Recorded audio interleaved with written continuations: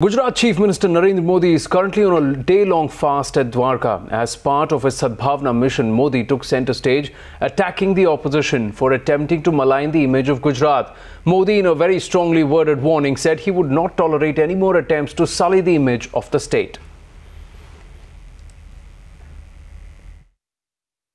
मेरे ये उपवास कुछ पाने के लिए नहीं है मेरे उपवास हिंदुस्तान के कोने कोने में एक सच्चाई को घर घर तक पहुँचाने का एक नम्र प्रयास है। वो सच्चाई क्या है?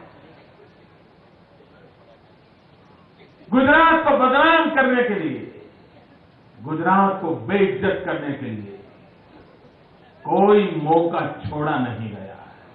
यही एकता है जिसने गुजरात को आगे बढ़ाया है।